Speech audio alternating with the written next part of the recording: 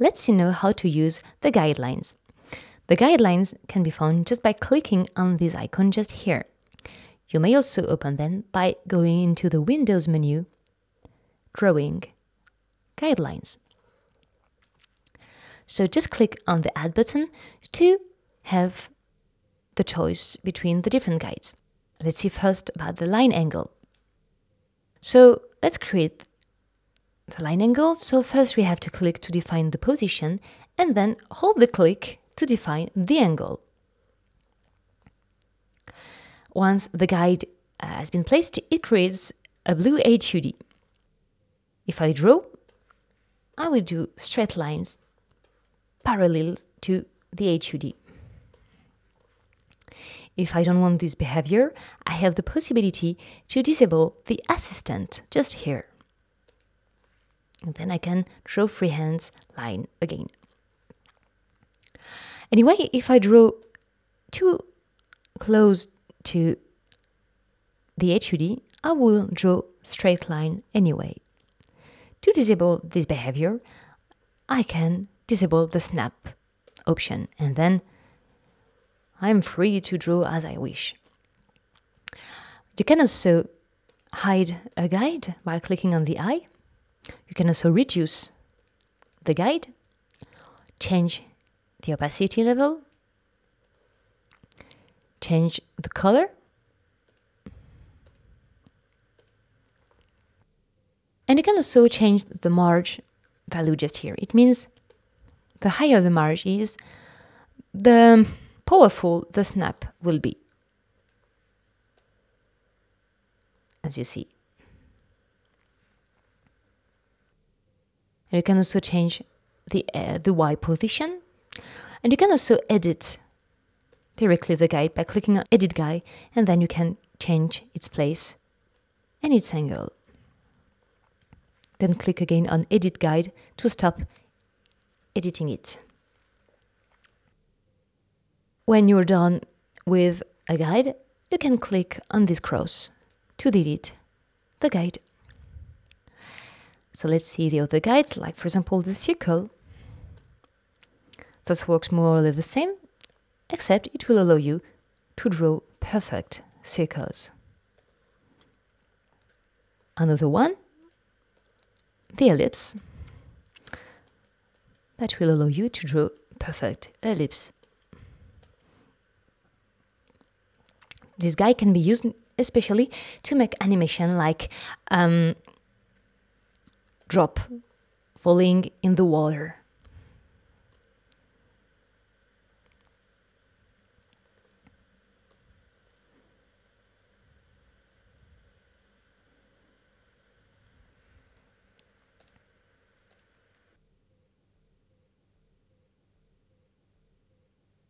You can also use the grids, which are really useful if, for example, you have to draw many windows on a building.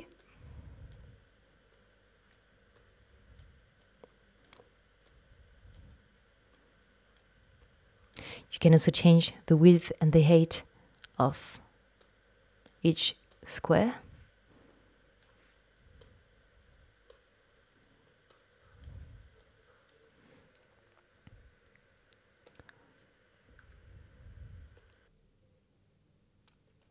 Another very interesting is the vanishing point that allows you to draw perspective lines. And you'll notice you can even place a guide outside the drawing space.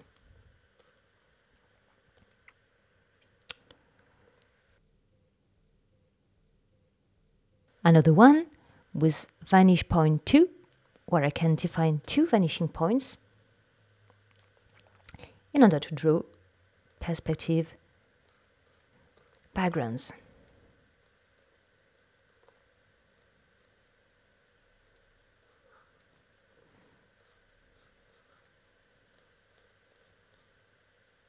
Anyway, you'll notice that sometimes it's not easy to use the perspective line since following the direction you are about to, to use, the um, perspective line will make the choice for you. So my advice disable the assistant, increase the ray count, and use the guide just as a guide without using the assistant. And so if you have to draw a town, just use your brain and your eyes.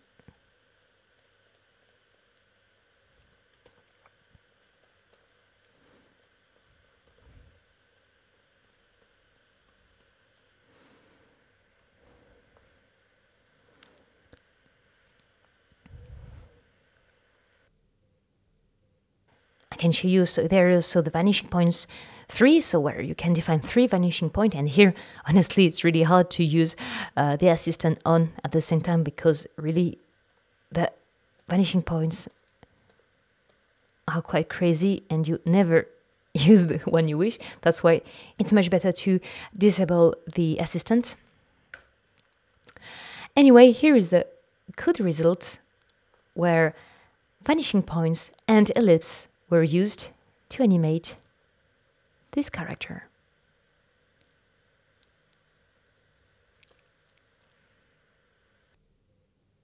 Of the guides really interesting, in the support part, we can find the safe area. So you know this place is not good to write text, and we can eventually redefine the safe area by changing the border out and in. The animator field that will bring many good memories for the people who animate on paper. The field chart. And probably one of the most interesting, the image guide. But before using the image guide, I must have something in my library. So let's open the library and let's find something from my computer.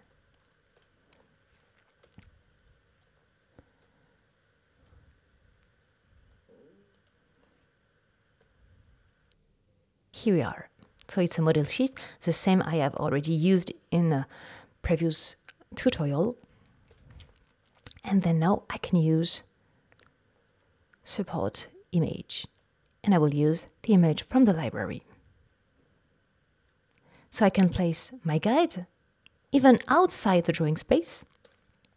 And using the guideline with an image is really interesting, especially for animation, because then you're sure you will always animate and respect the good proportion of the character. Let me explain. First of all, I will lower the opacity of this guideline. Okay. Now we'll take any drawing tool. Okay, good drawing tool. And I will move this image by using edit guide. Let it move. Okay, and let's imagine I would like to animate uh, the this girl, and this girl will turn her head. So let's draw a face.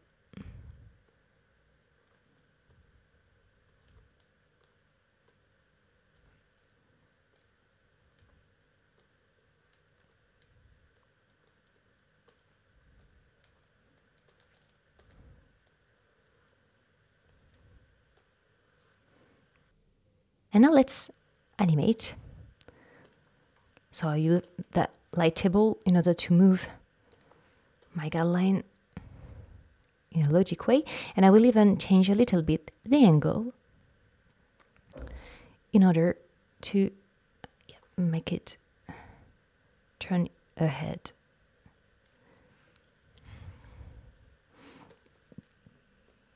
I switch off the light table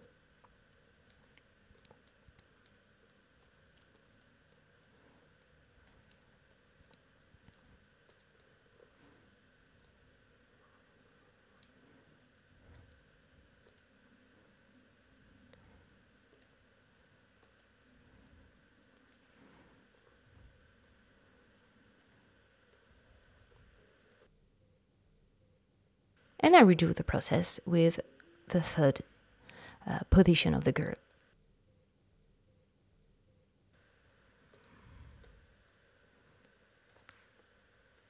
Mm-hmm. Like this.